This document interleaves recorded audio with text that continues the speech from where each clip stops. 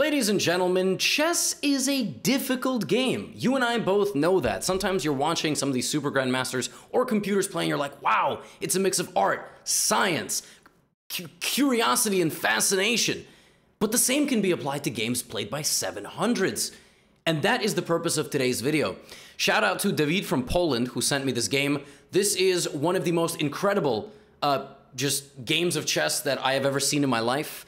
Uh, and I hope the same will go for you once you uh, get into the moves here with me. The setting, uh, we are in the chess.com pool, uh, and uh, there's lots of sharks swimming around. This battle between two 700s. I got nothing else to say. Here we go. E4. Black responds with g6. This is the modern defense. The idea is to play bishop to g7. Perhaps black is a proud owner of the Gotham g6 course, which I recommend against e4, d4, c4, any of white's first moves.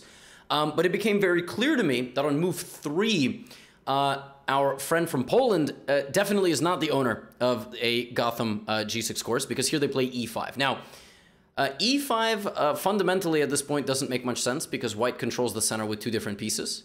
Uh, it would make a little bit more sense to play on the sixth rank. Generally, a G6 bishop and uh, G, G6 and bishop on G7 want to fight for the center a little bit more slowly. This is just a clean blunder of a pawn. If you wanted to play E5, you might as well do it on the first move. So E5, uh, white responds with taking. Now, this is not the worst thing in the world if you immediately go after this pawn, so something like knight c6, queen e7, in the style of the Englund gambit played after uh, d4, e5, and you just try to win the pawn back like that. But what you should not do after the pawn is taken is to offer up another pawn. That does not make sense because pawn can just take the pawn. And white uh, has emerged from the opening with a clear pawn advantage. Uh, this bishop is open for some tactical opportunities, but the position is very good for white. This is known as a backwards pawn. It's when a pawn has no neighbors, uh, or the neighbors are in front of it, and it cannot go forward because the square in front of it is controlled. So this is a great move, knight to c3, not allowing the knight to develop. Black responds in turn with knight to c6, and white has a very uh, difficult decision here to make. It's very rare in chess that all four moves with the bishop make sense, all of them. Uh, so white plays bishop b5. I don't hate that move. That is a very logical way to develop the bishop. And now, of course, black should also continue with development and does so with the move knight to f6.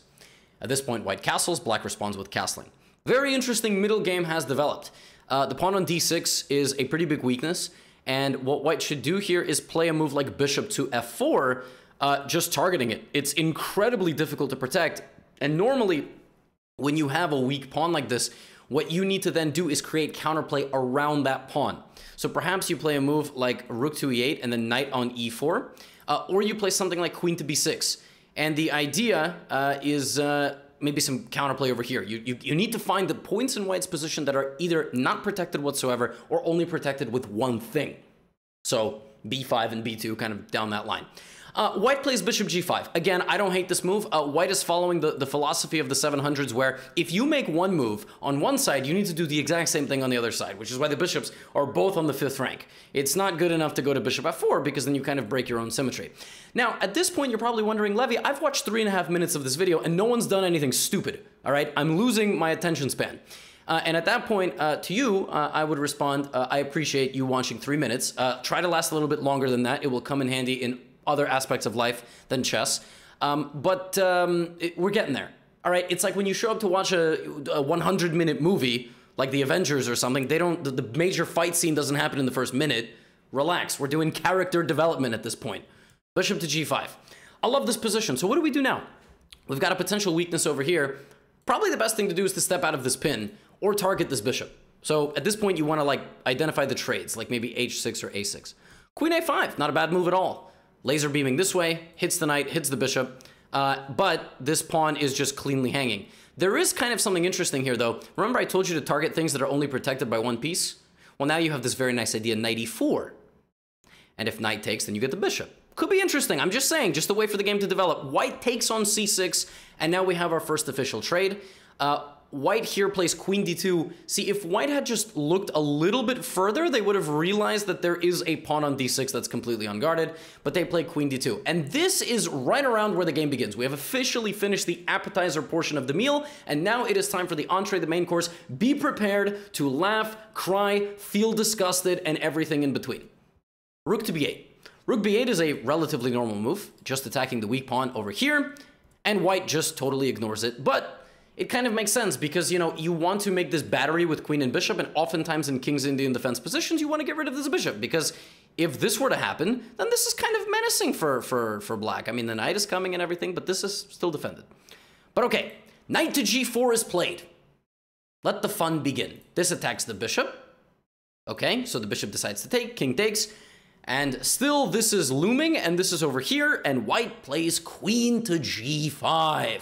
I mean, you have to justify the movement of the queen to d2 in the first place, so you move the queen over here opposite the king. That looks a little bit scary. Now, the stronger players watching the video probably at this point have begun to realize, well, I can just, I can, I, I mean, I, I have this over here, so I can just take it, it's protected, and then maybe I'll take this pawn. Correct. But what if you don't take the queen and you just go for the free pawn? I don't want a queen trade. I prefer to blunder my queen in one move. But the person playing with the white pieces moved the queen over here to, men to be a menace to the king, and the queen needs a little bit of help to be a menace to the king, so here comes the knight. White does not take a full queen, rather moving the defender of their own queen out of the way, so now the queen can take them right back for free. But remember what was black's last move? Rook takes b2? So you gotta continue munching. Rook takes c2. One queen was hung, the second queen has been hung, and now the third queen hang in a row. Rook takes c2. Now, uh, at this point, white decides that even though they have a knight hanging, there is a queen over there, and their own queen is hanging, that they are going to justify their actions by playing knight takes g6. Now, folks, I cannot stress enough that this move makes absolutely no sense. None. Because now white has a hanging knight, a hanging knight, and a hanging queen. That is 15 points of material that has absolutely no defense.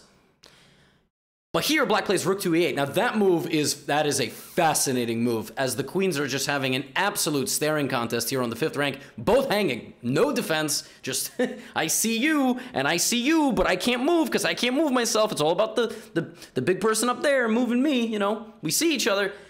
Okay, here, white goes, haha, I have one time of, so I'm, I'm gonna go back.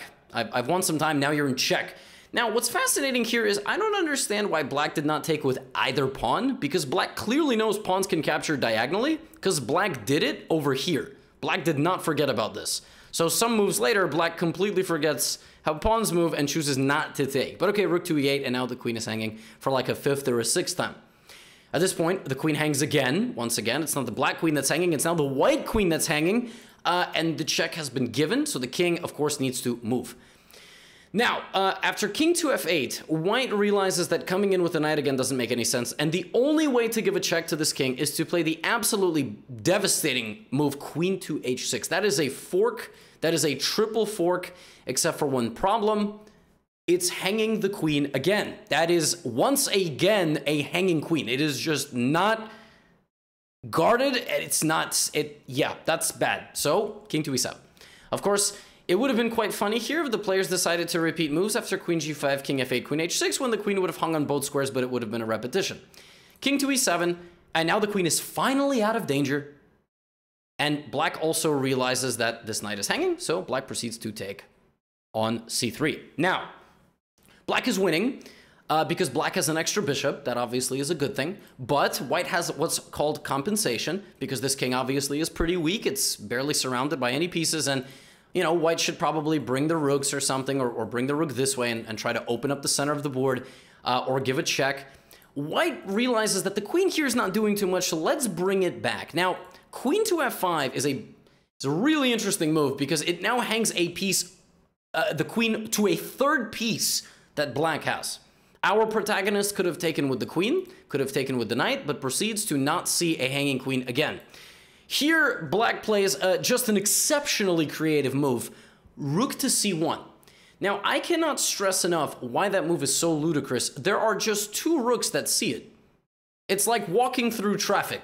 I mean, it, it, this move, I cannot stress how little sense it makes, but it is a fascinating idea looking to confuse white because now this rook is hanging, that rook is under pressure, and bishop is still attacking the queen. Technically, it's a, it's a brilliant move. I mean, it probably makes white completely malfunction. Of course, the best move here for white is to play queen g5 check and just go take that rook for free. but white justifies their earlier queen move and takes the knight because obviously black has left the knight hanging. That, that was a hanging knight. Not realizing that further down that diagonal is once again a full blunder of a queen. Although here it would be scientifically better not to take the queen, but to throw in the Zwischenzug in between move, check.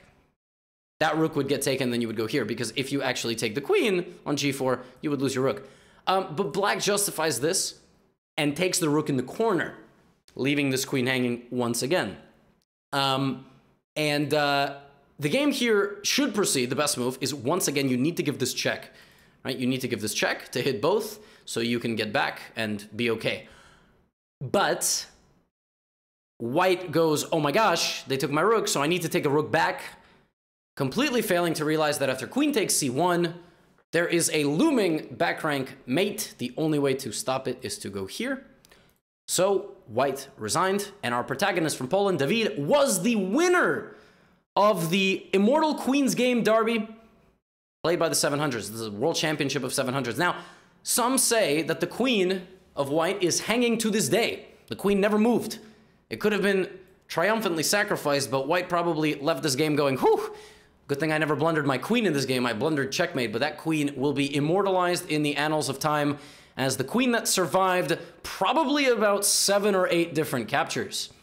I hope you enjoyed this video. Uh, I am enjoying watching your game submissions, ladies and gentlemen. Many of you are sending me some fascinating games. Some of you are sending me games that don't make any sense. You're asking me to analyze 70 move endgames that you've played against people? That doesn't make any sense. All right, I am not a professor. I am a circus manager. That is my profession. And for the games that uh, are submitted, I want to educate you, but I also want to make you laugh. Some of these games have been absolutely fascinating to read through. I've never seen a game quite like this one. Um, the combined accuracy of both of these players was something like 20. So, maybe 25. I'll see you in the next one. Get out of here.